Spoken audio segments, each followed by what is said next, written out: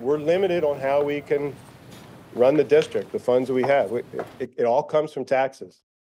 A $20 million athletic field renovation project is causing controversy in the West York community.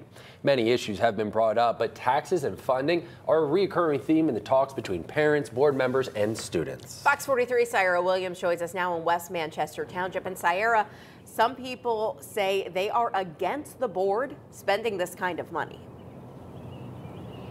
Yeah, that's right. And for people asking where that money is going to, well, take a look behind me. Now, this is what the school board president, uh, Lynn Kohler, says is out of date, and that that $20 million uh, renovation would go towards things like upgrading the high school track, uh, the concession stands, and the bleacher. But who's going to be footing that bill? Well, that will be the taxpayers. It would be the first tax increase for the district in six years. And the response from the meeting ranged from why taxpayers shouldn't have to pay more, but if they have to, it should go towards the future generation of students and not the fields.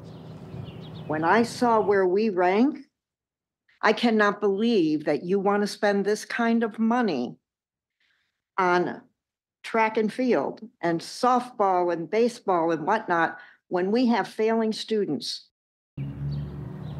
Now, the board voted unanimously to move forward with the project after hearing numerous comments about not wanting to move forward. However, the board says prices are rising around the country, so the price tag isn't new. Many, if not all, school districts are faced with increasing operating costs. I mean, a couple people mentioned about inflation and everything's going up. We, we all see it. All you have to do is go to the grocery store, put gas in your car. Home heating costs, I don't know about you, it's been the highest I've ever seen. That affects the district too. Uh, all, all those things roll right into our expenditures and we're limited on how we can run the district.